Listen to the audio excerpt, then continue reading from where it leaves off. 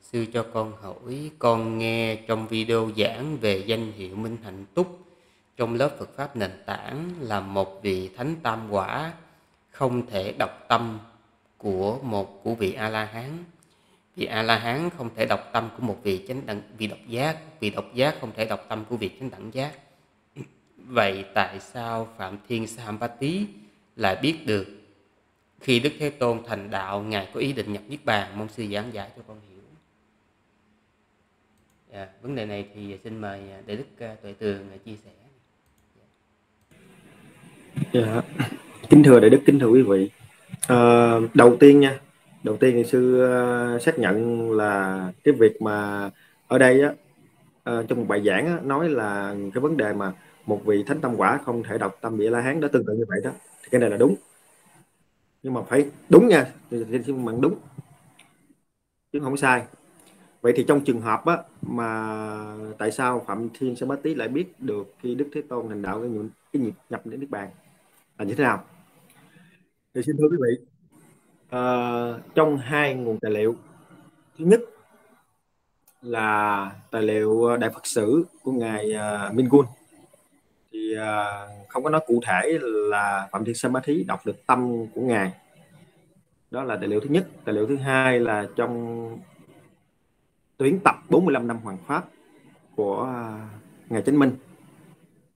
Thì có nói là động được tâm. Bây giờ chúng ta phải hiểu ở phía cạnh phương diện như thế nào. Quý vị, đầu tiên á, để hiểu rõ cái cạnh này nè, chúng ta phải biết được là có bốn điều bất khả tư nghị. Thì có một cái điều đó là cái trí của Phật toàn giác, cái trí tuệ của Phật toàn giác đó quý vị, đó điều bất khả tư nghị. Cho nên á quý vị phải ghi nhớ điều này nha. Cả tư nghị cho nên là nếu mà có cái điều gì nó xảy ra, nó vượt qua ngoài mà sư giải thích sau đây á quý vị nói ôi tôi sao sao mà khó tin khó tin nó giờ này nó cái kiểu này nó thì bây giờ nói những vị nói thì là sư sư chịu rồi. Tại vì trí tuệ một vị Phật mình không thể nào đo lường được. Đó là điều, cái điều thứ nhất vị nhớ nha. Rồi bây giờ sư sẽ phân tích cái cảnh thứ nhất. Là xin thưa quý vị, nếu mà Đức Thế Tôn, bình thường nha, nếu mà Đức Thế Tôn không có sự tác ý không có sự tác ý để cho những cái vị đệ, đại đệ tử của mình ngầm hiểu là cái suy nghĩ. Vị tha đa phần những vị thánh đó, hay là thậm chí những cái vị hầm phu luôn đó. Mình cái nghĩa Đức Phật đó, có khả năng năng lượng năng lực đó.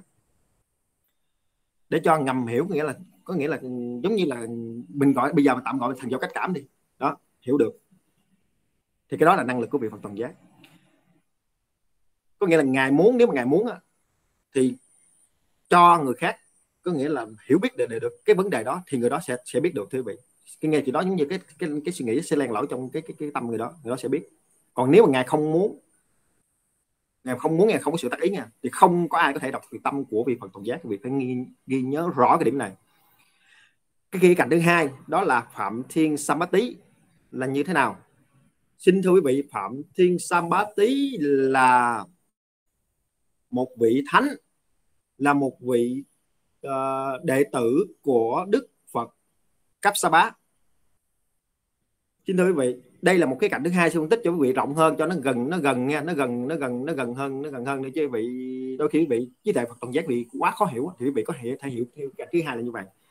Phạm đầu tiên phạm thiên sa bá thí sa bá tý thời đức phật cấp sa bá là đệ tử của ngài. Thì quý vị suy nghĩ đi thì nếu mà một đệ tử của ngài thì có phải là phạm sinh thời đó là một vị tỳ kheo. Thì có phải là những cái chuyện mà của phật toàn giác cấp sa bá kể ra thì phạm thiên sa bá tý có, có phải biết không?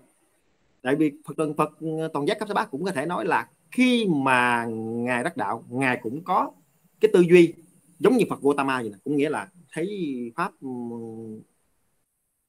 uh, cái lý tưởng cái nghe cái sự giác ngộ cái cái, cái, cái giáo pháp giáo pháp của ngài giảng nó sâu xa nó vi diệu thầm phu không khó mà chứng khỏi được.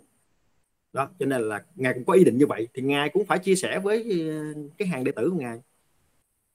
Thì ở khía cạnh ở đây thì quý vị biết là nghe cái chuyện này nè phẩm thiên samadhi samadhi nè.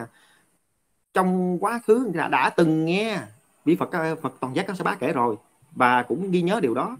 Và thậm chí không chỉ mà đức phật kể mà thậm chí có thể là đức phật cấp sa bá ngài nói à không chỉ như lai ở đây mà vị phật trong tương lai là phật Gautama đó cũng sẽ như vậy. Thì Phật tương lai cũng sẽ như vậy. Cho nên là ông ông phạm đi tí này nè là thực sự là lúc mà từ lúc mà chính xác là nói là từ lúc mà thái tử tất đạt đa mà xuất gia tầm đạo á, hay thậm chí là nó sâu hơn luôn mà khi mà bồ tát đản sanh thì ông đã theo dõi, ông giống như ông theo dõi dõi ông quan sát rồi. Đến khi ngài thành đạo cái là đạo thì khoảnh khắc là ông biết đó là như vậy, chính xác là như vậy. Thì ông xuống cầu cầu thỉnh ngài. Về cái chuyện đó nó cũng đơn giản thôi chứ vậy đâu đâu cho nên trước khi tấm kết thúc câu hỏi này, trong trả lời này, thì một lần nữa sẽ nhắc lại. Thứ nhất, trí tuệ của một vị Phật toàn giác là bất khả tư nghị, không thể đo lường được.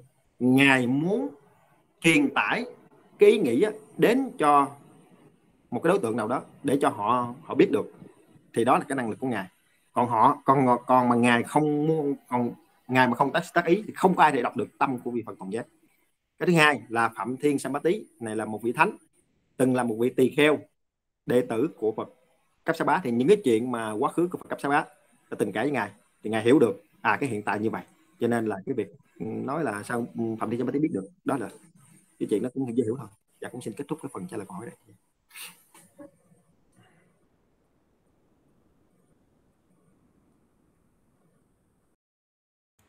Thưa quý vị cái chuyện mà đức ờ, tuệ tường ờ, vừa mới nói ờ, nó nằm ở trong cái cái phần là tám cái kinh là kinh Phật lực đó à, tức là cái khi mà Đức Thế Tôn ngài độ cái vị Phạm Thiên Tà Kiến thì cái Đức Thế Tôn hôm bữa sư có nói rồi Đức Thế Tôn khi xuất hiện ở trên đó à, thì ngài mới suy nghĩ Ừ. cái tâm ngài ngài hướng đến nghĩ đến ngài à, à, xá lợi phất.